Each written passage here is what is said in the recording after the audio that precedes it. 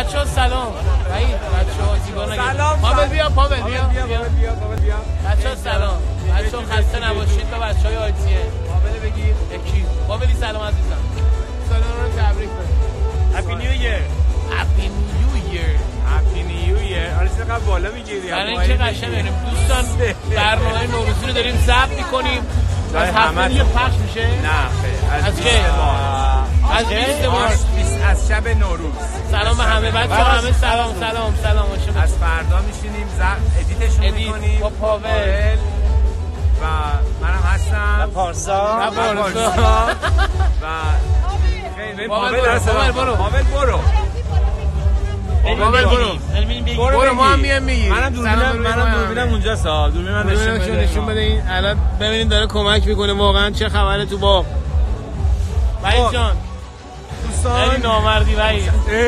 چرا؟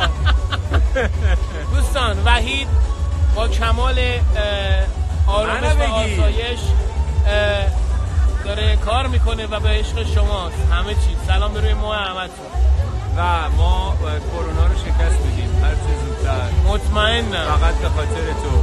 به خاطر همه. ای وای سلام سلام. حال اینجا شما خیلی؟ شلوغه. خیلی شلوغه. داریم بریم. 20 March آوا رو بچه آوا رو ببینید کجا نشسته. اینم آوا. 20 March بچه ها برنامه مخلص خداحافظی کن. بچه ها خدا به page منم page منم follow کنید.